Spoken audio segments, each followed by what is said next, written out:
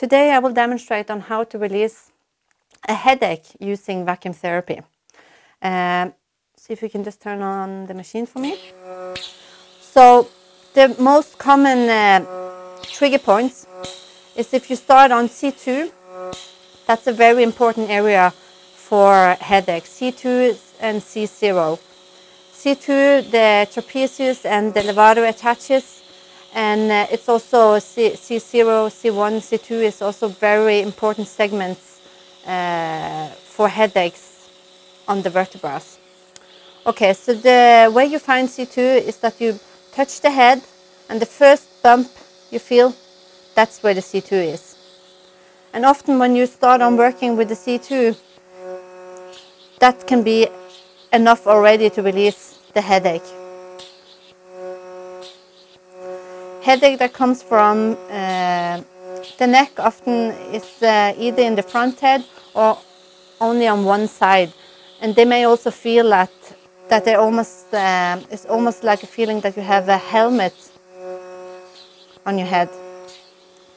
Uh, so what you will see also is the area where you have most tension will become more red. Like you can see here on her, around the C2, C1, C0. She's uh, becoming more red compared to other areas even though the pressure is just the same.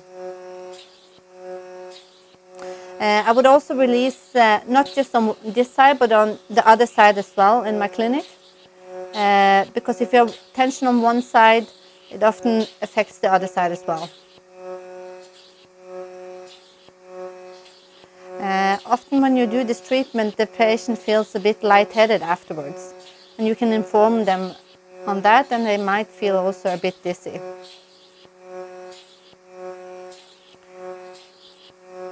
Now moving more towards C0.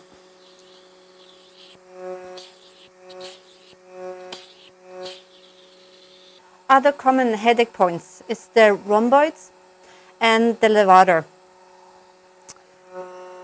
So then I will start off around the C7 or finding the attachment on the scapula, the upper border. and just work on short strokes here.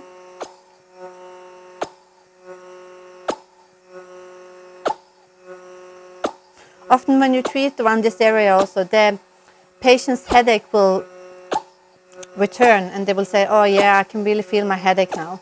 And then you know for sure that you're on the right spot.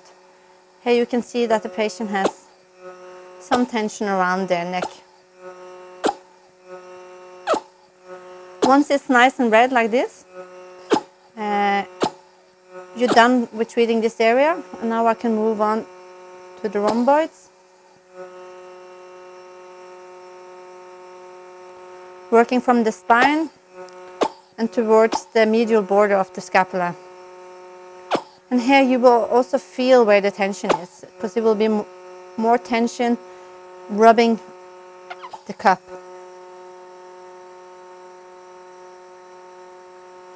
And even though patient, the patient might not have tension here, it's good to uh, treat it in one session because it can help the other headache points.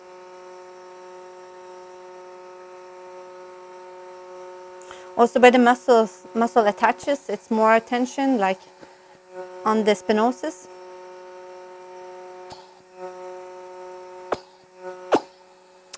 There.